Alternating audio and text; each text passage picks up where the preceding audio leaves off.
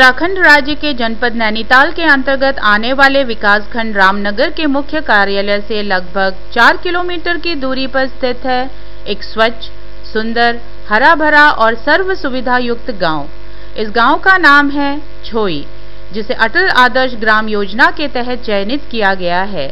इस गाँव में पोस्ट ऑफ़िस, बैंक, आयुर्वेदिक चिकित्सालय, पशु चिकित्सालय, दूरभाष केंद्र, मिनी बैंक किसान सेवा केंद्र, कृषि रक्षा इकाई, सरकारी सस्ते गल्ले की दुकानें, प्राइमरी पाठशाला से इंटर कॉलेज तक के विद्यालय, आंगनबाड़ी केंद्र तथा पंचायत घर जैसी हर वह सुविधा मौजूद है, जिन्हें ग्रामीणों के लिए आवश्यक माना जा सकता है।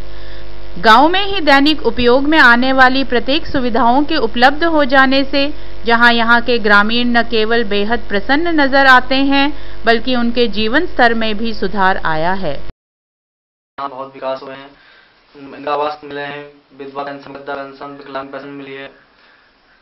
बैंक की सुविधा है छोई गाँव में पेयजल की भी अच्छी सुविधा है, लाइट की सुविधा है पंचायत घर है, अस्पताल है, राशन की दुकानें हैं आँगन आंगनबाड़ी केंद्र हैं। जब से मैं आया है, तब से हमारे यहाँ पर हर चीज़ की सुविधा है, जैसे कि अस्पताल और स्कूल, आंगनबाड़ी केंद्र खुले हैं और इसके बावजूद मकानों के लिए लोगों, गरीब जनता को यहाँ पर काफ़ी मतलब मौका मिला है मकान बनाने का।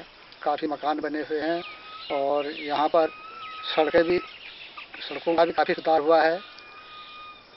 जहाँ सड़कें नहीं थी, वहाँ पर सड़कें बनाई गई और पक्की सड़कों सड़कों का निर्माण किया गया है और पुलिया का और नहर और नालियों का भी इसमें सुधार काफ़ी हुआ है। छोई की कुल आबादी ढाई हज़ार के आसपास है। इस गाँव की प्रधान श्रीमती मोहिनी देवी हैं। गाँव में दो आंगनबाड़ी केंद्रों का भी कुशलता के साथ संचालन किया जा रहा है।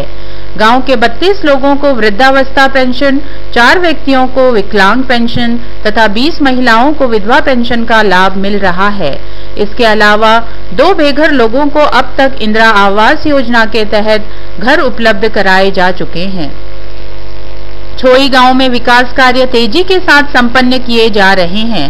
गाँव में अब तक जहाँ पाँच पुलियों का निर्माण किया जा चुका है, वहीं पिचासी मीटर सीसी मार्ग बनवाया जा चुका है।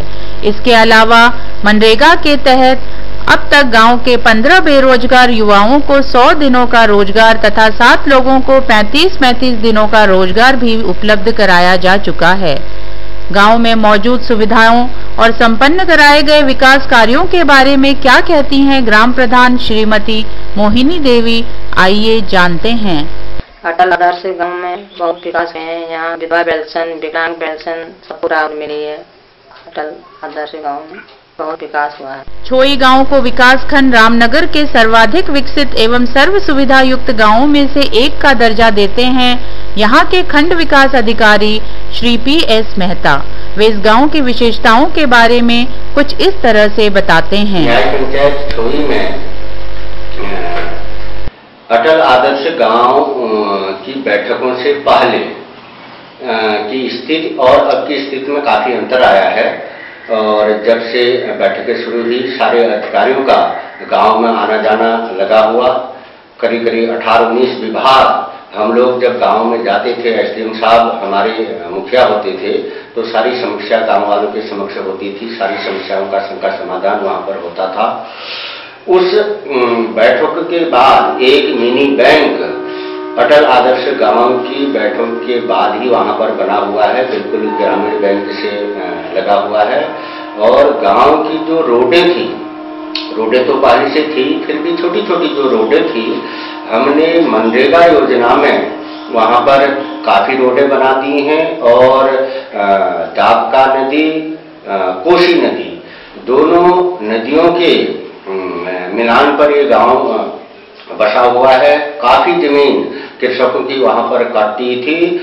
इन पिछले एक साल में, एक डेढ़ साल में कम से कम चालीस लाख रुपए के लगभग का काम हमने इस छोई नदियों के किनारे किया है चेक डैम बना रखे हैं साइड दीवारें बना रखी हैं और यहाँ तक कि भारत सरकार की टीम भी वो जो चेक डैम वगैरह हमने बना रखे हैं जो दीवारें बना हैं, उनको देख के काफ़ी प्रभावित हुई उन्होंने कहा कि आप देखो इतने इस गाँव में, इस नदी के किनारे इतना सुंदर आपने कार्य किया है। इंदिरा आवास हमने वहाँ पर दिए हैं। एस डी एस वाई योजना के अंतर्गत स्वयं सहायता समूह बना रखे हैं। उनको बैंकों से वित्त पोषण हुआ है। गाय, भैंस, उन लोगों ने पाल रखे हैं। अच्छा दूध दे रहे हैं। दूध को बेच रहे हैं। डेयरी में बेच रहे हैं और बैंक की किस्तें अदा कर रहे हैं। उसके अलावा विधायक निधि कहिए या सांसद, निधि क्षेत्र पंचायत विकास निधि राज्य वित्त से भी कई काम छोटी छोटी पुलिया गाँव में बनी हुई हैं। सीसी मार्ग बने हुए हैं।